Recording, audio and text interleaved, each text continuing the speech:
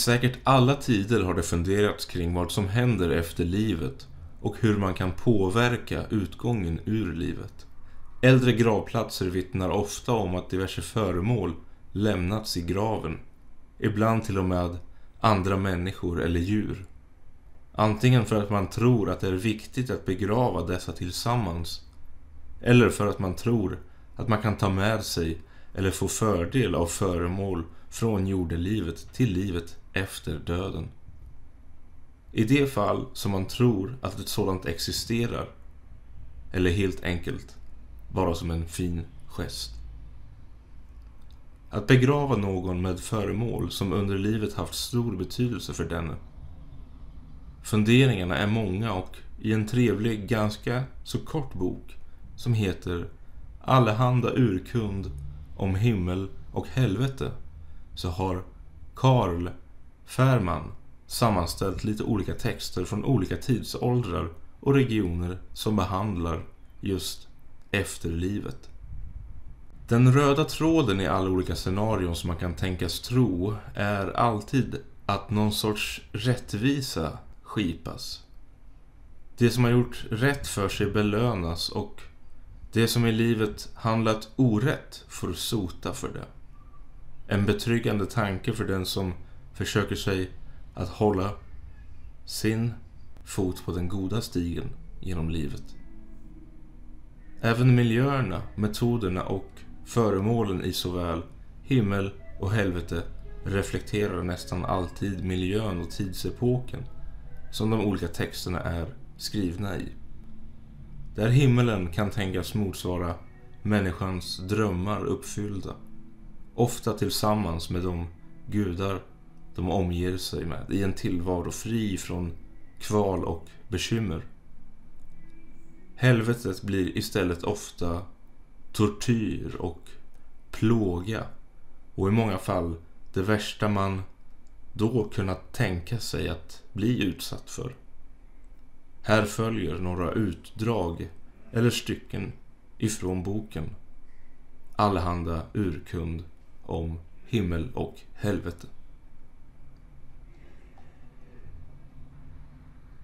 Pindaros, en grekisk poet, skriver i det andra olympiska ordet Rikedom som med dygder är sirad ger dock tillfälle till många handa.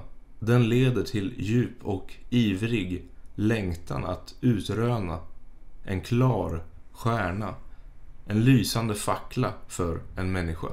Men om den som har detta slags rikedom känner sin framtid, då vet han strax på sin död här på jorden får ohjälpliga själar lida straff. Han vet att över begångna synder i detta Zeus rike skall under jorden någon skrip, skipa rätt och avkunna dom med ödestung kraft. Och evigt i lika nätter och lika dagar skall de ädelsinnade njuta solen och förunnas i den undre världen av en livslott utan att med kraftfull hand för ringa uppehälle röra i jorden eller havets vatten. Nej, dessa som med glädje höll sin heder, de tar en tårlös evighet i besittning hos de hedrade ibland gudar och det andra utstår en möda vars åsyn ingen kan utstå. Men en var som i endera av dessa världar har kämpat hårt för att hålla sin själ borta från allan orätt är färdig för Zeus väg till Kronos torn. Där kringblåser oceanens vindar, det saligas ö och blommor lyser av guld. Några från skimrande träd på stranden medans andra tar näring av havet. Girlanger av dessa och kransar lindar de kring sina händer enligt rättfärdigas råd av Radamantis vilken har berett plats som besittare av den store fadern han som är gemål till Rea vars tron står högre än allas.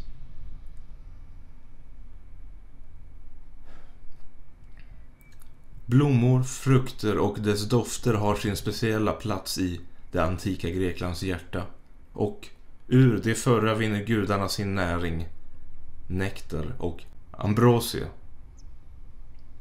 Det kommer inte som någon överraskning att paradiset innehåller just detta, eller att guldet förekommer, vilket nästan alltid haft något gudomligt över sig.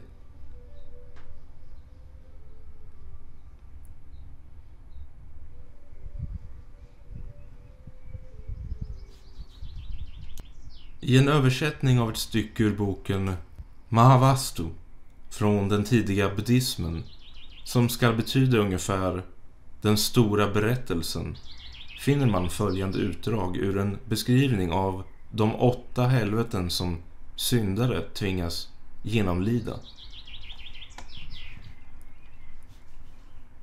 I dessa helveten inträder syndare, de som har följt den krokiga vägen och icke gjort goda gärningar. De som från begynnelsen avhållit sig från onda gärningar och fört en helt och hållet god vandel. De behöver ej vandra denna onda stig. Ty det finns två slags gärningar, goda och onda. Man bör undvika det onda och vinnlägga sig om det goda. Bundna under ett grönskande träd i den svarta trådens helvete hackas de med saxar och yxor. Därefter omgjordas deras lemmar med järnblad, länge och omsorgsfullt, glödgade och det bränns och plågas. När det bränts och plågats tillräckligt slits järnbladen bort och blod väller fram bland slamsor av hud och kött.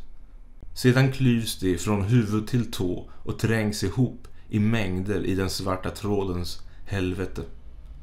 I ett fruktansvärt mörker där ingen människa ses går det nu ner i det rykande krossandets helvete. Där springer det sedan i miljontals oräkneliga mil gisslande varandra med piskor. Mästaren, den fullkomlige som kommit till insikt om dess rätta natur, kallade denna syndarnas boning den svarta trådens helvete. I krossandets helvete reser sig höga berg. Emellan dem har ett oändligt antal varelser skockats. Som straff för människornas gärningar slår dessa klippor samman och krossar många levande som vore de eldstrimmor. Ur de sammanklämda lemmarna flyter blod och floder av var väller fram ur virvaret av krossade kroppar. Deras vedersakare krossar dem i järnmortlar med spetsiga järnstötar i hundratals år. Mästaren, den fullkomlige, som har kommit till insikt om dess rätta natur, gav detta syndarnas boning namnet krossandets helvete. I ett utdrag ur Koranen kan man läsa om hur de trogna och de otrogna behandlas olika efter döden.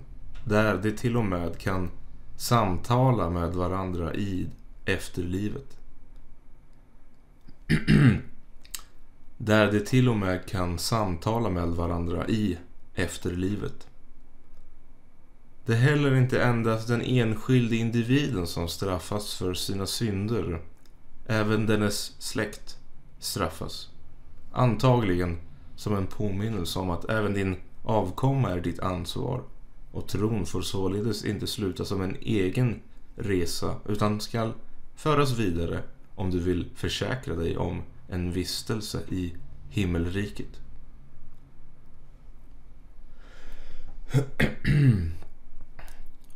Vem är orättfärdigare än den som uppdiktar lögn om Gud eller håller hans tecken för lögn.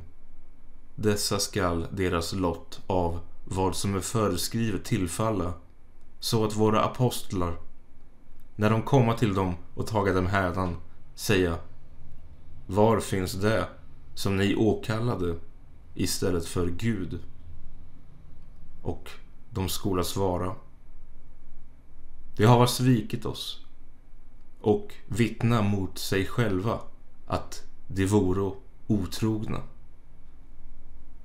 Han skall säga Gå in i elden bland ginners och människors släkten som gått bort före eder. Så ofta ett släkte går in förbannade närmsta föregående tills alla är församlade där och det sista säga till det första. Herre, dessa hava fört oss vilse. Giv dem därför ett dubbelt straff i elden. Och han skall svara, var och en av er skall få dubbelt. Men de veta ingenting och det första skola säga till det sista.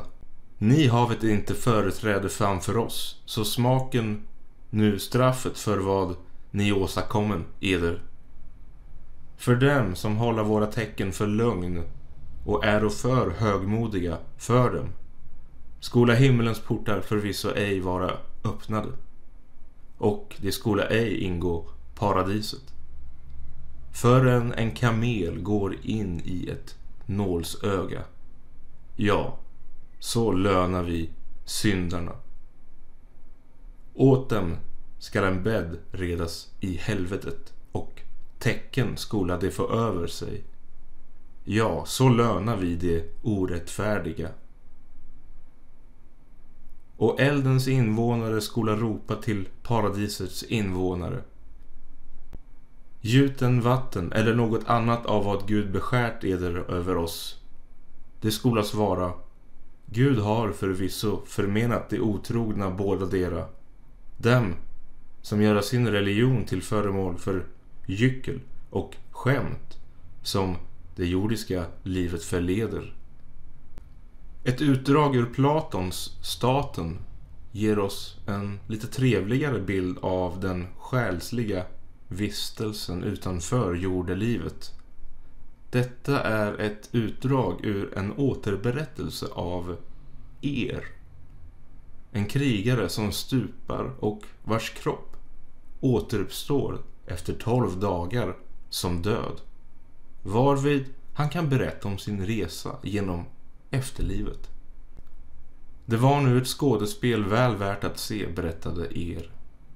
När de olika själarna valde sina levnadsbanor, både ömkligt och löjligt och högst underbart. De valde i allmänhet med ledningar av erfarenheter från sitt föregående liv.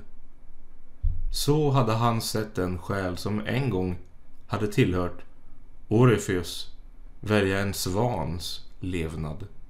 Av hat till kvinnokönet som hade dödat honom ville han ej födas av en kvinna. Han såg Tamyrs själ välja en näktergals liv. Han såg vidare en svan byta sitt liv mot en människas liv. Och samma var förhållandet med andra musikaliska djur. Den själ som enligt lottdragningen valde i tjugonde rummet valde ett lejons liv. Det var Ajas, Telamons son, som ville undvika att bli människa. Då han ännu kom ihåg domslutet angående vapen. Efter denne kom Agamemnons själ, som likaledes hatade människosläktet på grund utav sina utståndna lidanden och därför tillbytte sig en örns liv. Atlantas själ skulle välja bland det mellersta. Då hon såg den stora heder som tillföll en atlet kunde hon ej stå emot utan valde en sådans liv. Därefter såg han Epeios, Panaipos son, gemål, vilket själv valde en konstförfaren kvinnas natur. Långt borta bland det sista hade han sett narren Tersites ikläda sig en apas gestalt. Av en händelse hade Odysseus själ fått den sista lotten och gick nu fram för att välja. Minnet från hans forna vedermödor hade befriat honom från all ärelystnad. Och nu gick han omkring och letade mycket länge efter en av offentliga värv fullkomligt obunden människas lugna levnadsbana. När han äntligen upptäckte denna, liggandes någonstans avsides och försmådd av alla andra, yttrade han att han skulle ha tagit just den även om han hade fått välja först. Och nu valde han den med glädje. Likaså ändrade djuren sin natur. Somliga blev människor, andra gick över till nya djurformer så att det orättrådiga förvandlades till vilda djur, Det rättrådiga till tama och där förekom alla slags olika förvandlingar. Efter aftonens inbrott lägrade de sig vid floden Ameles. Den flodens vatten kan inte ett kärl behålla. Av detta vatten måste alla dricka ett visst mått. Men de som inte tänkte sig för och drack för mycket. Och alla dessa glömde allting i och med att de drack. Men när de hade lagt sig till vila uppstod vid midnatt åska och jordbävning och genast fördes själarna därifrån åt olika håll till att födas här uppe på jorden och de flög såsom stjärnfall. Själv hade er hindrats från att dricka ur vattnet. Men hur och på vilken väg han hade kommit tillbaka till sin kropp visste han ej. Men när han plötsligt slog upp ögonen fann han sig liggandes på bålet. Bilden av himmel och helvete har en lång historia och många olika utseenden. Men ursprungstanken är i många fall ett sorts paradis eller någon sorts evig plåga och eld. Ofta tar de sig Ofta tar sig enskilda poeter friheten att beskriva den. Kanske för att göra begreppen mindre diffusa. Kanske bara för att få utlopp för sina egna fantasier gällande dem. Kanske vill man bara ha en klar bild utav vad som väntar när man i livet står för kvalen att välja sina handlingar. Hur Karl Ferman själv ser på det hela kanske kan tolkas i hans val av att i introduktionen av boken inkludera ett citat av John Milton ifrån Paradise Lost som lyder The mind is its own place and in itself can make a heaven of hell a hell of heaven. Sådär, det där var om himmel och helvete som är en text publicerad den 20 augusti 2013 på min hemsida urtiden.com. Så den här texten var ju lite utdrag då, ja, och egentligen baserad på den här boken av Carl Färman som heter Allehanda urkund om himmel och helvete. Där han har samlat eh, lite olika utdrag ifrån olika kända verk och författare genom tiden. Hur de har beskrivit dessa platser och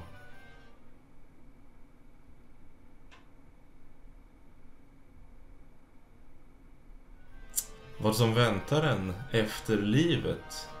Ofta då baserat på någon sorts uh, uppskattning av eh, värdet av dina handlingar över tid. Och det skiljer sig då runt om på jorden i olika tidsepoker också då. Vad för slags bild man faktiskt kan ha utav vad paradiset eller helvetet skulle kunna vara. Men som vi märker så är det också många likheter mellan dessa tankar och funderingar och föreställningar. Det finns många likheter även mellan de tidiga buddhistiska verken och eh, de mer idag traditionella religionerna såsom islam och kristendomen, judendomen till exempel. Man kan tänka sig att över tid så har influenser och berättelser kanske framförallt tankesätt och filosofi spridit sig och blandats över, över jordens yta. I den här texten så avslutar då jag med det som eh, författaren Karl inledde boken med. Ett citat ifrån en John Milton och då verket Paradise Lost. Och John Milton är en 1600-tals poet, va? eller författare. Jag kan läsa lite på Wikipedia bara här snabbt. John Milton, född den 9 december 1608 i Cheapside i London, var en engelsk diktare och psalmförfattare, yrkesverksam som regeringstjänsteman. Ja, och han skrev bland annat Det förlorade paradiset, eller Paradise Lost, utgiven år 1667. Ett av de stora litterära verken på engelska som inspirerade till oratoriet Skapelsen av Joseph Haydn med text av baron Gottfried van Swieten. Paradise Lost räknas som episk eller heroisk dikt och är skriven på blankvers. Och Paradise Lost då. Jag har faktiskt en sån bok här då som jag passar på att visa upp helt enkelt. Jag har nämnt i någon tidigare video. Väldigt kända illustrationer och illustrerar bland annat många bibelutgåvor och eh, många av de här gamla eposen exempelvis. Här har vi syndafallet då Lucifer blir nedkastad ifrån himlen. Då.